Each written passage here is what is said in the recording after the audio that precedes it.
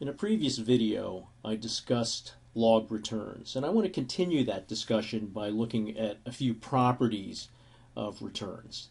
Now, the natural log of 1 plus the return is going to be equal to the natural log of the future value over the present value.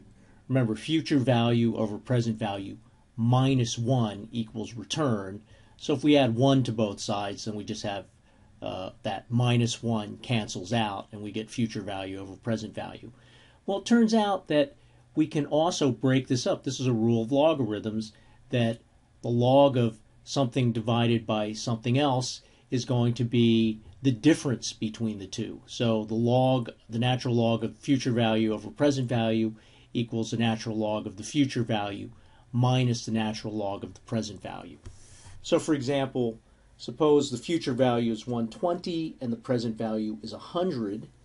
If we uh, take the natural log of 120 over 100, or the natural log of 1.2, we get 0.1823. If we take the natural log of 120, right, the, um, the numerator, and then we subtract the natural log of 100, which is the denominator, we get 4.7975 minus 4.6052, and we get the same answer, uh, 0.1823. Now, some other properties. These things get added together. Okay, that was one of the problems with doing the arithmetic um, returns because you start multiplying things together, and if you're assuming some sort of normal distribution, it turns out that multiplying them together uh, does not make them normal anymore. But adding them together does. And if you want the um, expected return, logarithmic return, you can just take you can just sum up 1 plus the natural log of all the returns and then divide by n. So let's take a look at an example here. Uh, suppose the interest rate is 10%. Well, the arithmetic future value is going to be 110, 121, 133, uh, and 10 cents for years 1, 2, and 3. And you can calculate that by the standard future value formula here 100 times 1.10 uh, raised to the nth power. Right? You can see that if you multiply it by 100 times 1.1, so it's the first power, that'll be 110 and if you raise it to the second power, 121, and then third power is 133.10. Okay, well, what's the log return for the first year? Okay, from 110 uh, to 100. It's 0.0953. So you would expect that the returns, I mean, the way we work this out, should be the same year after year after year.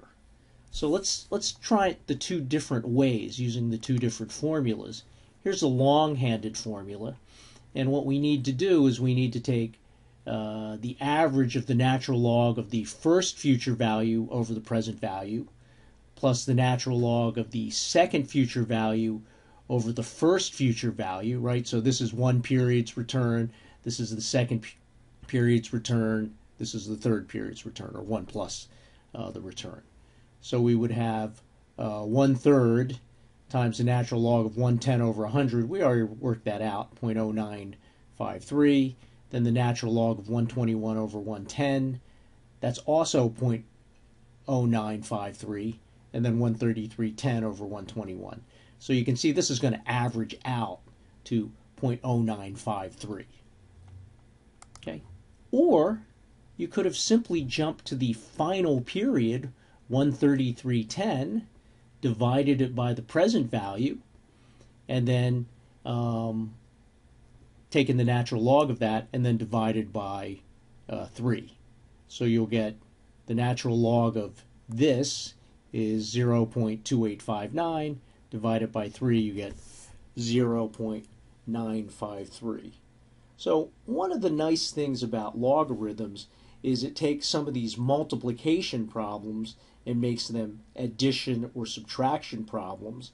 And it's also quite nice because we can easily calculate the return here without having to calculate the future value for year two, three, four, calculate the return for each period, and then multiply them, you know, one plus the return together, and then take the, you know, nth root. So all we need here is the final future value divided by the present value, and all we need to know is the number of periods. So this is a, a very nice property, and it makes it quite easy to calculate the rates of return.